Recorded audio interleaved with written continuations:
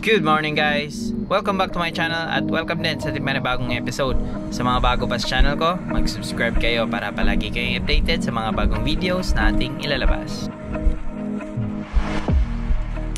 Today's episode, morning dive tayo. Nagbabaka sakaling makahuli, pang stocks natin. Kaya, let's go! Medyo madilim pa yung paligid pagdating natin sa spot. Warm up dive lang to kaya dito lang muna tayo sa ledge.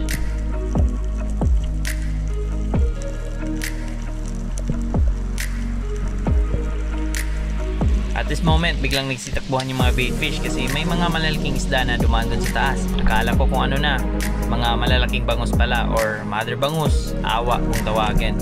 Pinagbabawal sa batas na hulihin kaya pass tayo dyan.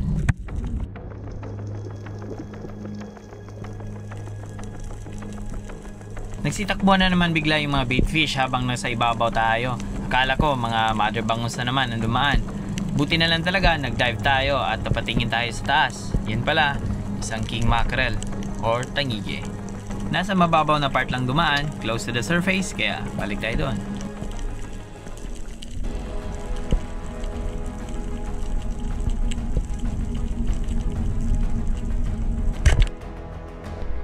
Dinadaan-daan ko lang talaga yung paglapit niyan para makakuha tayo ng magandang angle at makatira ng maayos. And there it is, our first fish of the day.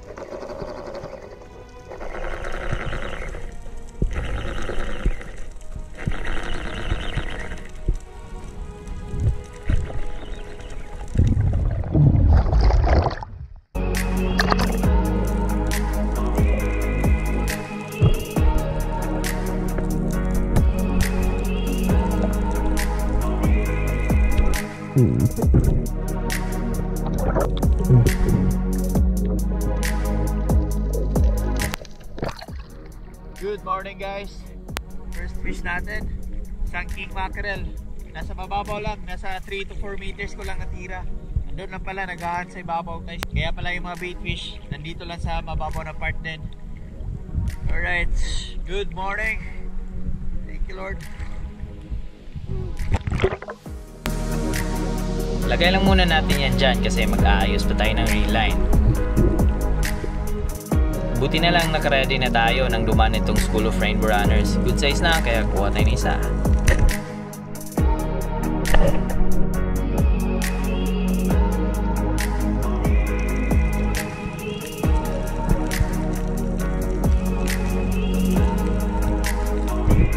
Napakalikot na may isda na to guys at napataas pa yung tira natin kaya dinahandahan ko lang yung paghila para di makawala.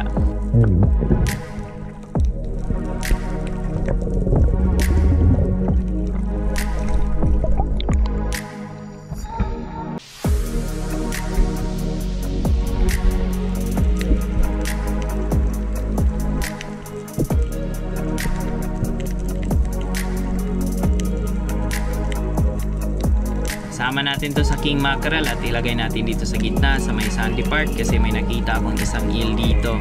Ayan, yan yung mga nangangain sa huli natin.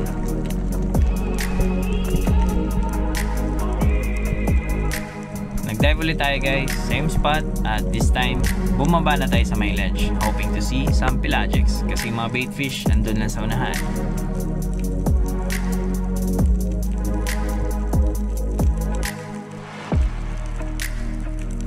Di rin nagtagal, may mga nagpakita nga, dalawang dog to tunas, around 2 to 3 kilos.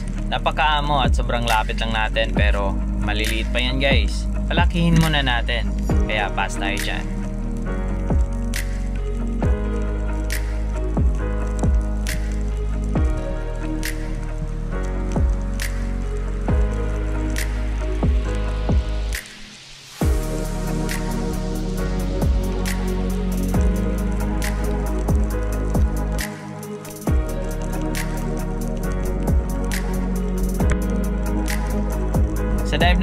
Binalikan natin yung spot.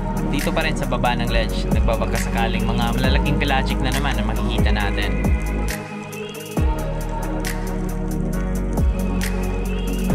Sa di kalayuan, may isang dog tutuna na papalapit sa atin. Medyo malaki-laki to, around 6 to 7 kilos siguro. Let's try to close the gap. Ilang feet na lang guys para ma-pull ko yung trigger pero biglang lumiko at lumayo. Kaya ako na lang huminto para siya yung lalapit sa atin. Well, gumana naman, bumalik pero hindi talaga dumiretso. Kaya hindi natin pilitin.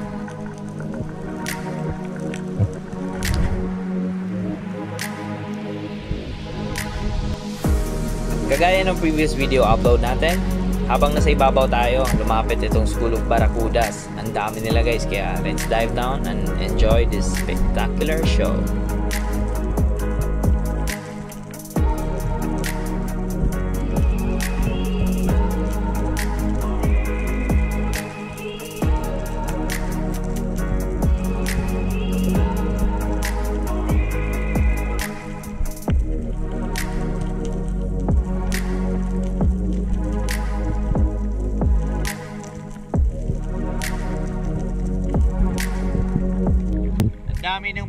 Guys, around 4 to 8 kilos siguro.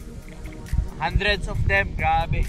Pero hindi natin target yun for the eyes only, kaya iba yung pipiliin natin. Alright, sustainable fishing practice palagi. Cheers!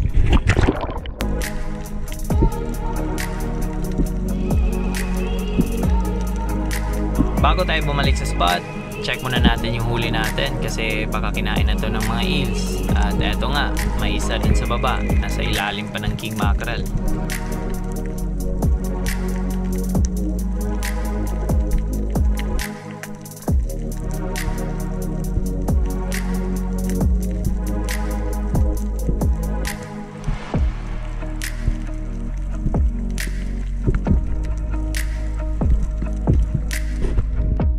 Medyo pinatagal ko yung pagbalik dito sa spot para naman makalayo yung mga barakudas. Kasi sa experience ko, pag andito sila, walang pelagics na dadaan.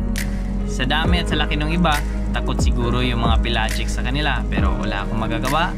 Andito pa rin sila, kaya let's just enjoy the show.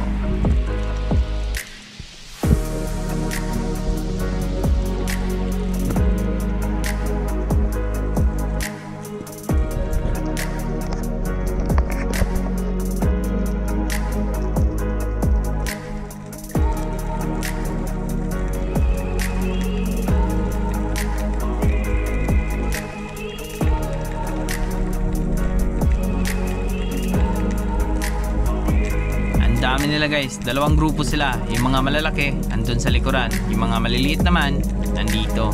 Sobrang lapit lang, pwede mo na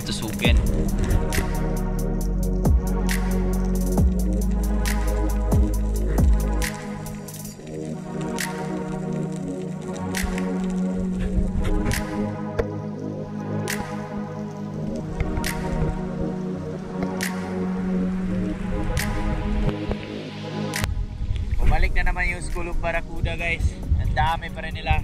This time may sumama ng mga malalaki na naman. Mga 8 kilos up. Woo! Dami. Right.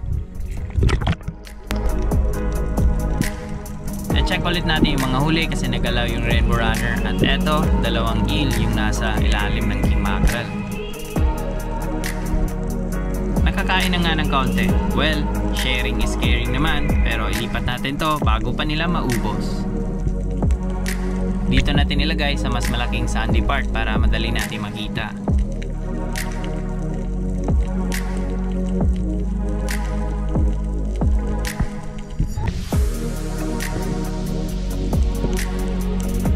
On this dive, umabanti tayo sa kabilang spot, malayo dun sa School of Barracudas. May mga pelagics kasi tayong nakita at baka babalik yon.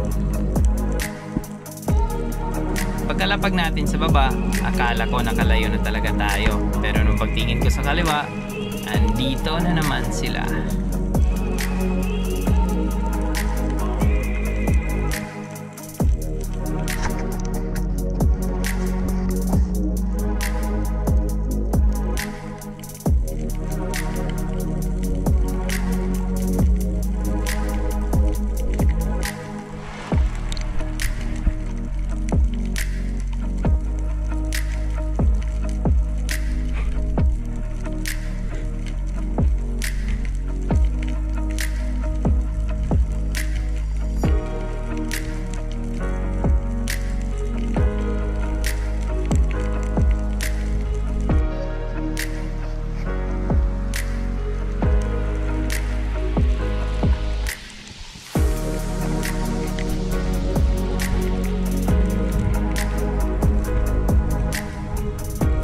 Sure walang dadaan ng mga target pelagic ngayon kaya abort mission. This is enough. Kunin natin yung mga huli at nang makauwi na.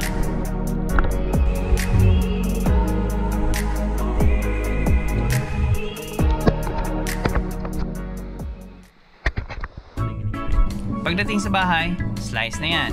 Stocks for days. Huling slice sa tail part at etong buntot, may lagayan ako niyan. Sa head part na naman tayo and here it is, we're done. Yung buntot pala, dito ko yan nilalagay sa ating trophy wall.